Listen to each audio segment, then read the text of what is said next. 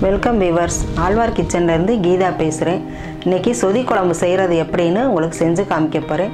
செய்முறையை பார்ப்போமா?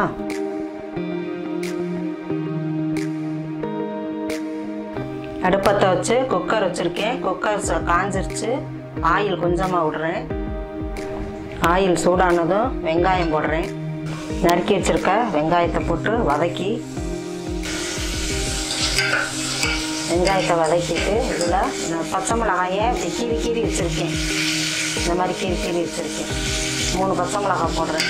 இதுக்கு வந்து மிளகாப்பொடி எதுவுமே இந்த இதுக்கு சொதி குழம்புக்கு போட தேவையில்லை. மிளகாப்பொடிக்கு பதிலாக தான் காரத்துக்கு பச்சை மிளகாய் போடுறோம். நீங்கள் எவ்வளோ செய்வீங்களோ அதுக்கு தகுந்த மாதிரி காரம் போட்டுக்காங்க. நிறையா செஞ்சால் கூட ரெண்டு மிளகாய் போட்டுக்காங்க.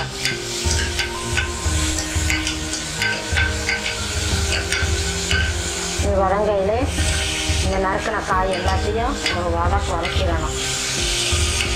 கேரட்டு உருளைக்கிழங்கு இதுக்கு கேரட்டு உருளைக்கிழங்கு வெங்காயம் பீன்ஸு முருங்கைக்காய் இதுதான் இதுக்கு போடுற காய்.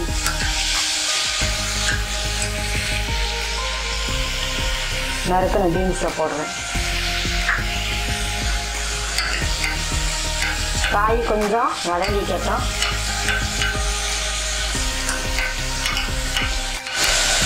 காய் எண்ணெயில் வதங்கிடுச்சு. இப்போ அதில் தண்ணி ஊற்றிக்கணும்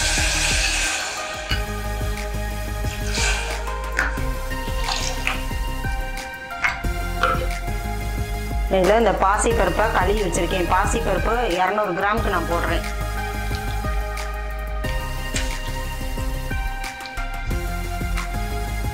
வெறும் பாசி பருப்பு தான். தோரம் பருப்புலாம் போட்டுறாதீங்க. பாசி பருப்பு தான். தோரம் பருப்பு போட்டிங்கன்னா அது சாம்பார் ஆகிடும் வெறும் பாசிப்பருப்பு கேரட்டு பீன்ஸு முருங்கைக்காய் பெரிய வெங்காயம். இதுக்கு சின்ன வெங்காயம்லாம் டேஸ்ட்டாக இருக்காது. பெரிய வெங்காயம் தான். அதை நீளமாக கீறி கீறி போடணும்.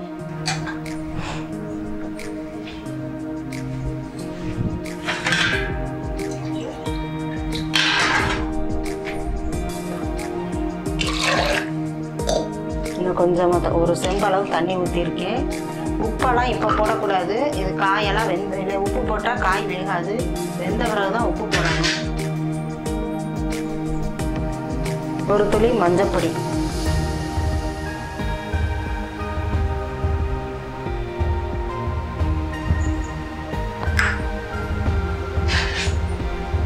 போட்டு ஒரு கிளர் கிளறி விட்டுட்டு குக்கரை மூடி வச்சிடணும். விசில் வந்த பிறகு மிக்சியில் போட்டு எடுத்துட்டு அதுக்கு பிறகு தான் செய்யணும் குழம்பு.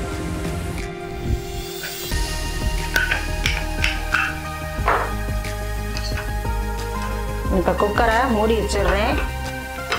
பாசிப்பருப்பு இந்த காய் எல்லாமே அதிலே ஒரே விசிலில் வெந்துடும் ஒரு விசில் வந்ததும் ஆஃப் பண்ணிவிட்டு அதுக்கு பிறகு கொஞ்சம் விசில் அடங்கினதும் மூடியை எடுத்து நீங்கள் மீதி குழம்பு செய்ய ஆரம்பிக்கணும். தேங்காய் அரைச்சதெல்லாம் கடைசியில் தான் ஊற்றணும் இப்போ விசில் வர்றதுக்கு கூட்டி வச்சுருக்கேன். விசில் வந்து ஆவி வந்த பிறகு விசில போட்டுட்டு அதுக்கு பிறகு சிம்மில் வச்சிட வேண்டியதுதான்.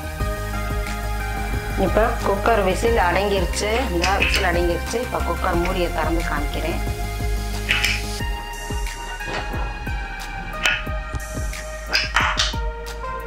இந்த வெந்துருச்சு. இந்த முருங்கைக்காய் பீன்ஸு எல்லாம் வெந்துருச்சு. இப்போ இது வெந்த பிறகு இப்போ வந்து உப்பு போடலாம். தேவையான அளவு நான் உப்பு போட்டிருக்கேன். நீங்கள் எப்போவும் குழம்புக்கு எவ்வளோ உப்பு போடுவீங்களோ அந்த மாதிரி போட்டுக்கோங்க. இப்போ உப்பு போட்டு ஒரு கொதி கொதிக்க விட்டுட்டு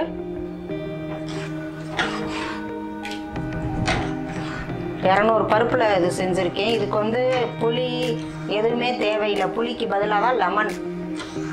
புளிப்பு டேஸ்ட்டுக்கு மிளகா பொடி தேவையில்லை. மிளகாப்பொடி மசாலா பொடிலாம் தேவையில்லை. அதுக்கு பதிலாக பச்சை மிளகா இது வந்து தேங்காய் பால் தேங்காயை அரைச்சி ஒரு அரை முடி தேங்காய் எடுத்திருக்கேன். அரை முடியிலையும் பாதி தான் எடுத்திருக்கேன். தேங்காய் பால் எடுத்து இதில் ஊற்றலாம் அப்படி கா- இது ஸ்கூலுக்கு வேலைக்கு எதுவும் போகிறவங்க ஒரு அவசரத்துக்கு செய்யணும்னா தேங்காயை அப்படியே அரைச்சி ஊற்றிடலாம் பால் எடுக்காமல் தேங்காய் பால் சொதிக்கு வந்து தேங்காய் பால் தான் மெயின் சொதி செய்யணும்னு ஆசையாக இருந்துச்சுன்னா அர்ஜென்ட்டுக்கு தேங்காயை அப்படி கொல கொலன்னு அரைச்சி ஊற்றிடலாம் இப்போ உப்பு போட்டு கொதிக்க வச்சாச்சு நல்லா பாசிப்பருப்பு கரைஞ்சிருச்சு கொல கொலன்னு. இது கொல கொலன்னு தான் இருக்கும். கரைஞ்சிருச்சு காய் எல்லாம் வெங்காயம் போட்டதே தெரியல. வெங்காயம்லாம் கரைஞ்சிருச்சு. இப்போ தேங்காய் பால் எடுத்ததை அப்படியே ஊற்றுறேன்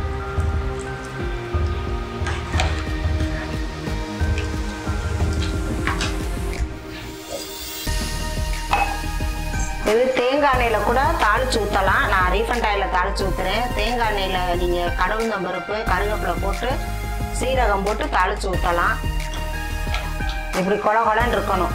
ஊற்றி சாப்பிட்ற மாதிரி. இதை வந்து சப்பாத்திக்கும் வச்சுக்கலாம் சாதத்துக்கும் ஊற்றி சாப்பிட்டுக்கலாம். இதுக்கு காம்பினேஷன் வந்து இஞ்சி துவையல்.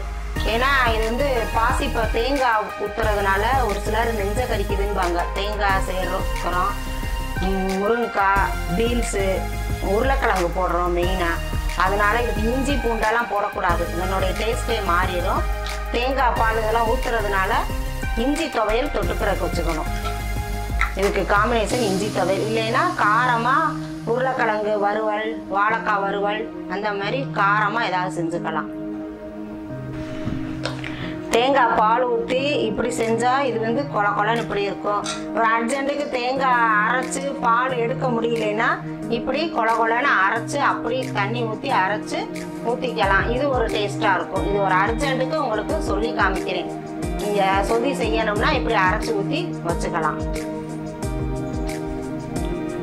இப்போ இது ஒரு கொதி தேங்காய் பால் ஊற்றின வர ஒரு கொதி ரொம்ப கொதிக்க விட்டுற வேணாம். ஒரு கொதி கொதிச்சிருச்சு. இப்போ லெமனை புழிஞ்சு விட்டுற வேண்டியதான் எதுக்கு வடிகட்டினா அந்த கொட்டையெல்லாம் விழுகாது. உள்ள அதுக்கு தான் வடிகட்டியில் வச்சு ஒரு தே- இந்த குழம்புக்கு ஒரு லெமன் புழிஞ்சிடணும். சின்ன சின்ன லெமனாக இருந்துச்சுன்னா ரெண்டு புழிஞ்சிருங்க. நான் அது பெரிய லெமனாக இருக்கனால ஒரு லெமன் புளிகிறேன்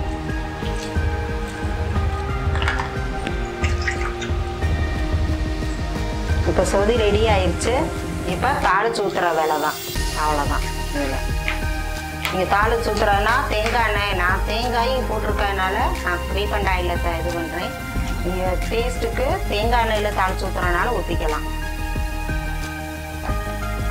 இப்போ எண்ணெய் ஊற்றி தாளிச்சுக்குவோம். இப்போ எண்ணெய் காஞ்சிருச்சு கடவுள் நம்பர் போட்டு தாளிச்சிட வேண்டியது